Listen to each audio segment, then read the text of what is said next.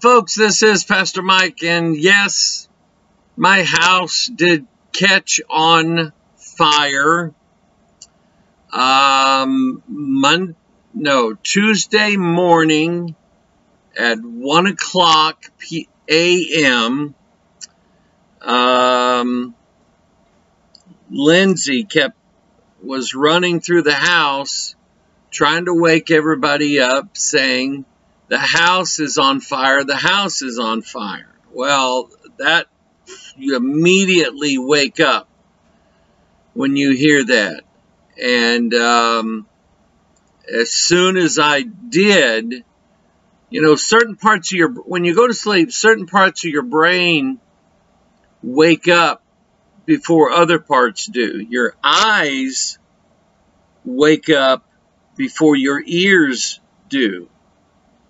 And so while I could see that there was smoke in the room, it took me uh, maybe a second or two to realize that the smoke alarms were going off in our house. I've been through this before in a hotel fire in um, New Jersey when I was on tour with the um, singing group from the Oklahoma Bible College uh, that I went to.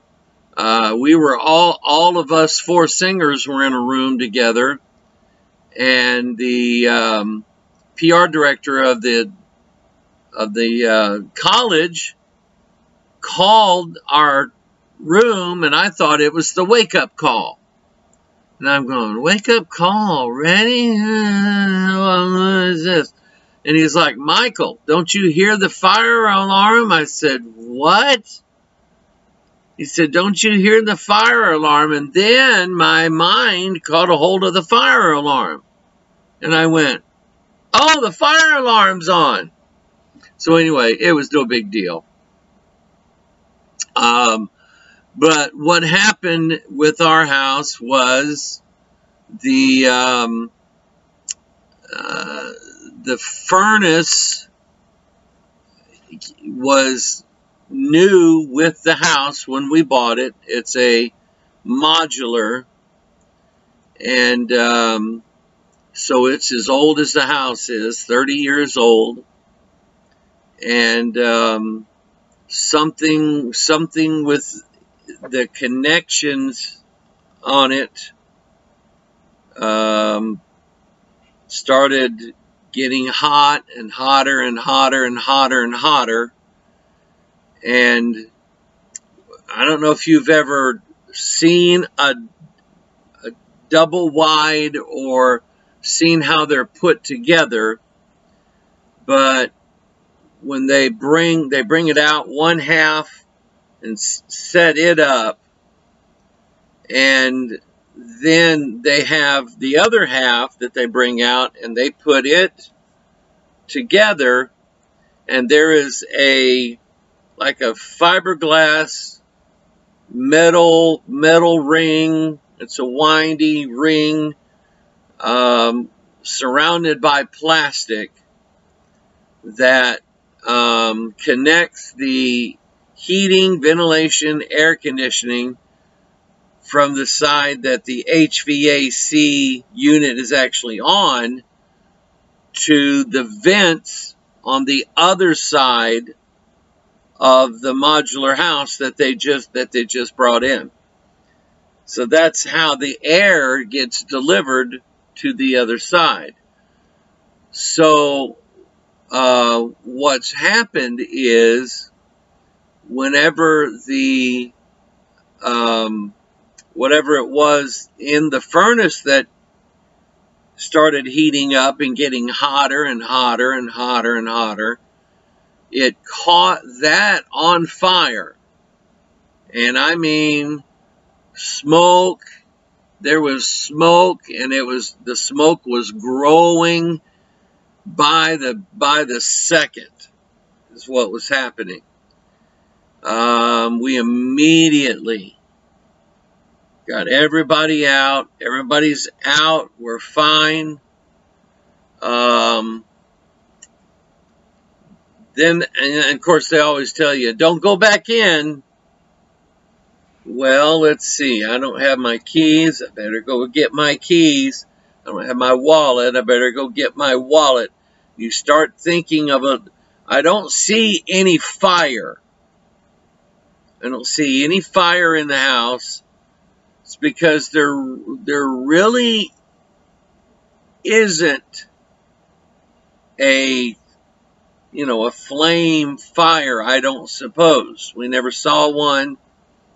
Uh, here's I'll show you a video of what the furnace looks like and um, you can see that those connectors are all burnt and uh, something something in that wiring um, got got burned up somehow some way we don't know. It's again it's 30 years old just like the house. And um, then I'll show you one of the vents. Um, this is in Caleb's room. And um, his his room was actually getting the worst of the fire because um, the that round fiberglass tubing that I told you about it actually caught on fire and was burning to pieces. And so that's where the fire was coming out, the fire and the smoke was actually coming out on his side of the house, if that makes sense. We live on the back side, and our bedroom is on the back side. His room is on the front side. And so that's where all the, the, the fire and the smoke was going was going to the front side of the house. And so anyway, um, there is a, there's a lot of smoke damage. We don't know yet what's going to happen to our house. We have no idea. We've had, um, of course, the fire department, great job, great job. Hillsboro DeSoto, Cedar Hill fire departments, and whoever else responded that there was an ambulance I think I saw pull up as the first one. Fortunately, we didn't need an ambulance, but it was great job Hillsboro, DeSoto, Cedar Hill on getting out here fast as you can we appreciate your service. Um, I take my hat off to you, and um, may God bless all you guys that work on the front lines of keeping people safe. Uh, because they made sure that we were safe. And um, so, anyway, um, the firehouse the, the fire department's been here. They're the one that showed me what they thought was wrong, which was followed up by a shelter. This is our insurance company, Shelter Insurance. Um, so a shelter agent came out the next day. He did an assessment, but he didn't. He didn't tell me much. Um, let's see here, what else? Today, um, let's see, yes, yesterday, I'm trying to think of what day it is. Yesterday, on Thor's Day, the, um, uh, the company that does the, the cleanup, the fire cleanup, they came out yesterday to do an assessment of what needs to be clean. And then a guy came out today that uh, takes care of like drapes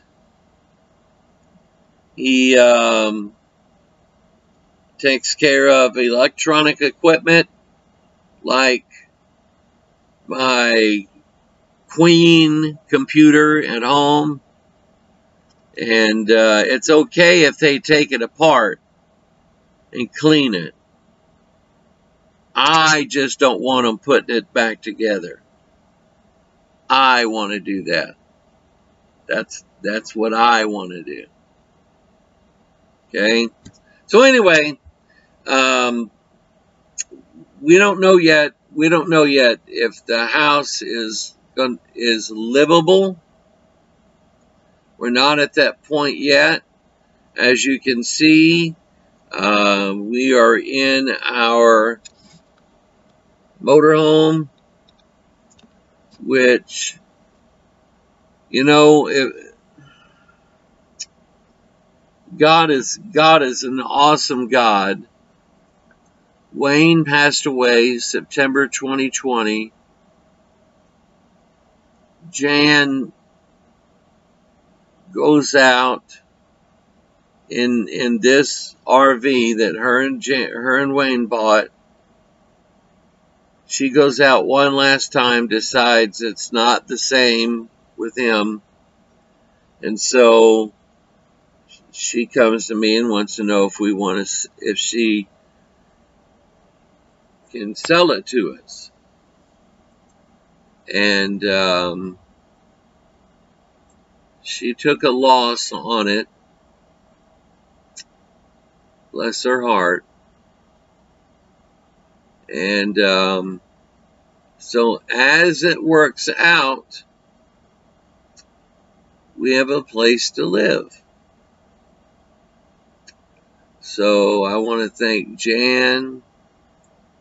Uh, I want to thank Hillsboro Fire Department, DeSoto Fire Department, Cedar Hill Fire Department, um, whatever um,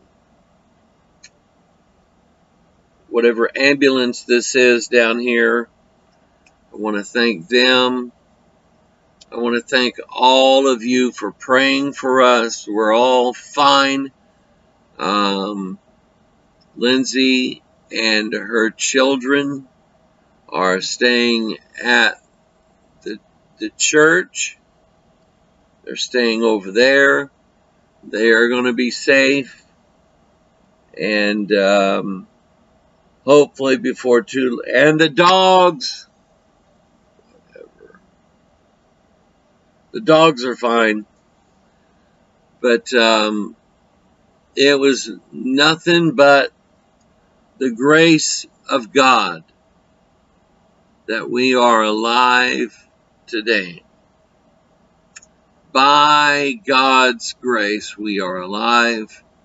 We are thankful that we have a place to live, that we have um, we can wash some of the clothes that we have in the in the house. Some of them are a complete loss. That's to be expected. So anyway, we have nobody but God to thank for everything that he's done. And we thank all you for your prayers, your support, your love, and um, I don't know how much work I'm going to get done the last few days.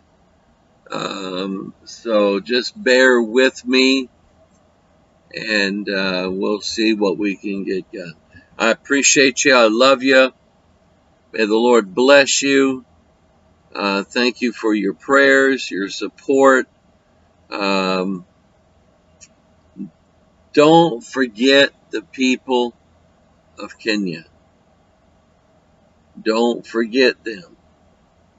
Okay? They are needing much more help than we do. The places that the people live over there are nowhere near what God has blessed us here. So anyway, God bless you. I love you. And we will see you Sunday.